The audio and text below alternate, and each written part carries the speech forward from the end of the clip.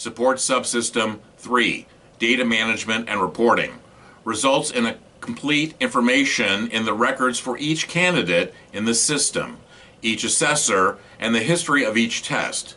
It also results in status reports available to candidates, their supervisors and managers, the Performance Competency Councils, and the Board of Governors.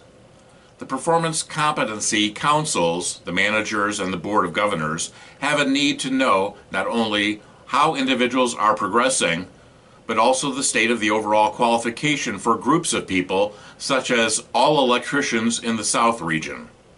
Performance testing. It's all about performance and demonstrated competence.